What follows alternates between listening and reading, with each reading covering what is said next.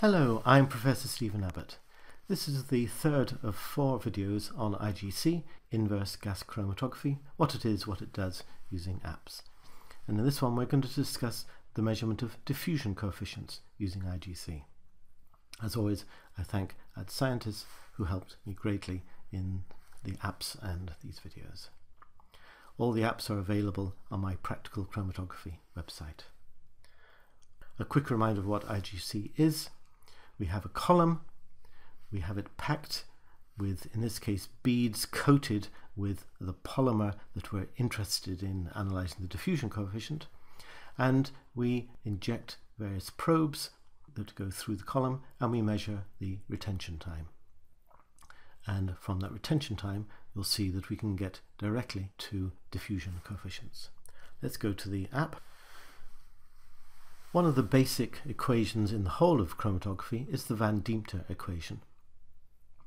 And we can calculate the number of theoretical plate heights, h, and that depends on the flow rate of gas through the column, u, two constants, a and b, and a third constant, c, that actually depends on the diffusion coefficient of the probe in the polymer on the stationary phase.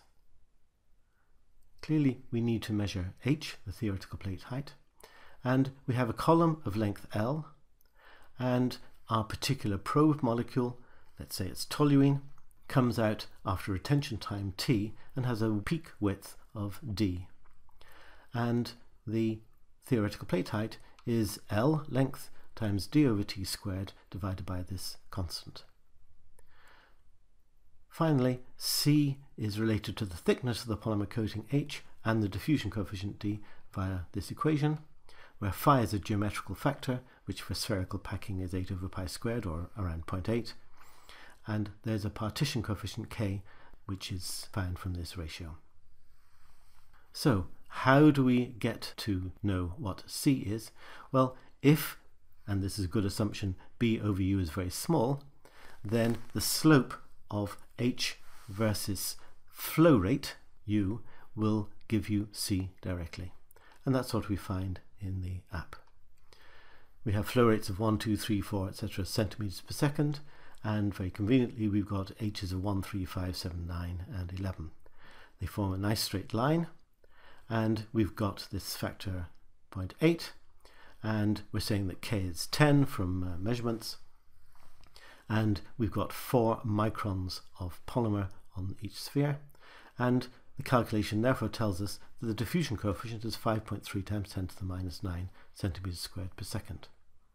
If we'd done this with 2 microns, then the diffusion coefficient would have been 1.3, and if we'd had a thicker coating, the diffusion coefficient would have been smaller. Or if we'd measured k to be smaller, then etc. etc.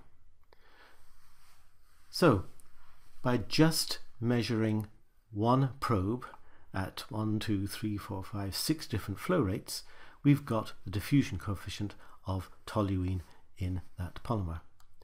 But of course, we have the packing, we have the polymer there, we can inject another probe. We can inject ethanol or MEK or octane, and we can find the diffusion coefficients of each of those within the polymer. Once you've got it set up, it's a very quick way to get a lot of diffusion coefficients. So why aren't we all using it? Well, there's a problem. In order to get this controlled coating of say 4 microns around each sphere which you pack into the column, that's relatively easy if you have a rather low viscosity polymer, but it's very hard for a big solid polymer. And as far as I know, people haven't cracked the problem of packing a column with small thicknesses of a higher molecular weight or a more rigid polymer. If someone listening to this video knows how to do that, then they can revolutionize the measurement of diffusion coefficients. And one of the reasons I want this particular video out there is this is a very powerful technique and just needs this practical step to make it even more powerful.